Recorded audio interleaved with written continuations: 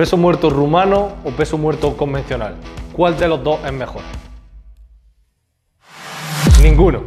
Ya te adelanto que ninguno de los dos es mejor que el otro y todo va a depender de tu objetivo. Y eso es lo que vamos a ver en el vídeo de hoy. Vamos a hacer un análisis biomecánico de ambos movimientos y vamos a ver cómo cada uno de los dos se van a adaptar mejor a unas condiciones o a unos objetivos concretos. Así que si tu objetivo es la hipertrofia o tu objetivo es la fuerza, posiblemente sea uno de los dos el más indicado para ti. Y para ello vamos a partir desde esta imagen de un continuo de eh, dominancia de cadera a dominancia de rodilla. Siempre nos han dicho que hay un movimiento dominante de cadera o dominante de rodilla. Y esto es cierto hasta cierto punto. Y es que realmente tenemos que entender estos dos conceptos como un continuo. Va a haber ejercicios más dominantes de cadera, más dominantes de rodilla y más híbridos. Así que, partiendo de que el peso muerto en general, el gesto de bisagra de cadera, es un gesto dominante de cadera y por tanto peso muerto rumano y peso muerto convencional los podríamos incluir como movimientos dominantes de cadera, dentro de este continuo vamos a ver que uno es más dominante de cadera que el otro y uno es más dominante de rodilla que el otro, si los comparamos.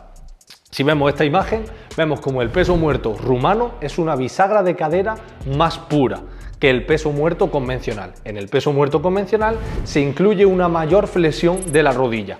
Al incluir una mayor flexión de la rodilla, lo que ocurre es que involucramos más grupos musculares. En el peso muerto convencional se involucran más grupos musculares que en el peso muerto rumano. Y por esto podemos mover más carga en un peso muerto convencional que en un peso muerto rumano, porque participan más unidades motoras. Es un movimiento más híbrido que el peso muerto rumano. El peso muerto rumano, por tanto, lo podríamos en esta comparación catalogar como un ejercicio de mayor aislamiento. Aislamos más los grupos musculares que intervienen porque intervienen menos grupos musculares y se hace en un patrón más puro de esa bisagra de cadera. Teniendo en cuenta esto eh, que hemos visto ahora mismo, está continuo de dominancia de cadera y dominancia de rodilla, ya nos podemos poner a hablar de cuál es mejor para ti, el peso muerto rumano o el peso muerto convencional. Lo primero, ¿cuál es tu objetivo? ¿Mejorar la fuerza? ¿Mejorar tu masa muscular? Dependiendo de cuál sea tu objetivo, usaremos a priori uno de los movimientos más que el otro. Si tu objetivo es mejorar la masa muscular, la hipertrofia, vamos a optar por movimientos con ese mayor aislamiento, que involucren menos grupos musculares al unísono y consigamos una mayor activación de un grupo muscular concreto. Por eso el peso muerto rumano va a ser ideal para maximizar la hipertrofia. Y si hablamos de culturismo, el peso muerto rumano va a ser un, ejercicio a priori más ideal, más específico para eh, la ganancia de masa muscular que el peso muerto convencional. Esa bisagra pura va a conseguir un mayor estiramiento al final de la fase céntrica sobre nuestro isquio y sobre el glúteo y vamos a conseguir una mayor activación de estos grupos musculares a la vez que movemos menos carga. Si con menos carga conseguimos más activación, es uno de los pilares fundamentales para conseguir esa eh, ganancia de masa muscular. Sin embargo, si tu objetivo es la eh, fuerza, el powerlifting, lo que quieres hacer es mover la máxima cantidad de kilos posible. Y para ello, cuantas más unidades motoras tengas que te ayuden, cuantos más grupos musculares participen en este levantamiento, más posibilidades de que consiga ese objetivo de mover más carga. Por eso, en ese híbrido, eh, en ese continuo que veíamos, en powerlifting vamos a estar optar por los movimientos más híbridos y por eso en esta comparación convencional y rumano nos vamos a quedar con el peso muerto convencional donde los grupos que están en torno a la rodilla van a activarse los cuádriceps se va a activar también eh, toda nuestra musculatura de nuestra espalda y vamos a conseguir que más grupos musculares ayuden al ejercicio y que por tanto levantemos más carga que en el peso muerto rumano.